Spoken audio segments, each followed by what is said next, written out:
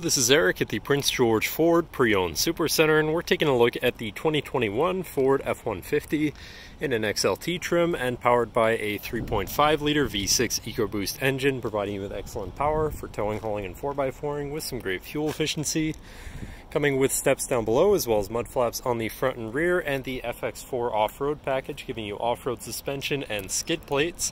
But let's take a look inside. And looking into the back, we have comfortable seating for three that can be lifted up and out of the way to accommodate any other cargo.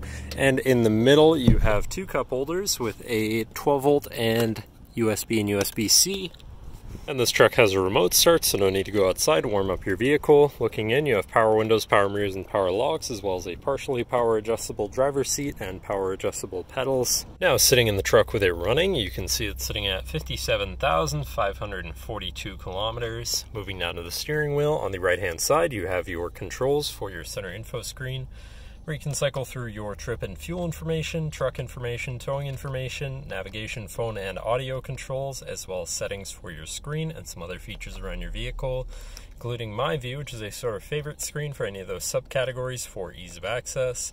And moving on to the left, you have your cruise controls with lane keeping system and your hands free phone and radio controls along the bottom. Moving on to your center, your infotainment screen, which is radio, Sirius, and Bluetooth capable.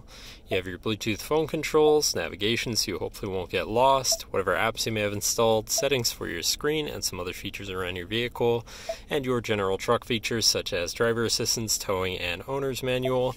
Shifting into reverse, you have a backup camera so you can see where you're going, and above that, you have your auto start stop shut off, your camera view again, hazards, hill descent assist, and traction control shutoff. Moving down, you have your media controls and then your climate controls with dual zone front climate. To the left, you have your Pro Trailer backup controller, trailer brake controller, and 4x4 controls with a locking rear differential and drive mode selector for normal, tow haul, eco, sport, and then on the opposite end you have slippery, deep snow sand, mud ruts, and rock crawl mode as part of the FX4 package.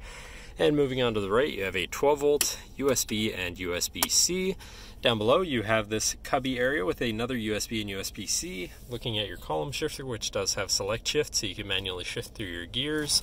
And then onto your center console area, where you have two cup holders, a big bin here, and your lockable center compartment slash armrest with a removable tray. Ton of room inside, including another USB and USB-C but that should cover our look at the interior. So now if you're interested, come visit us at Prince George Ford, pgford.ca, or call 250-563-8111 and have a nice day.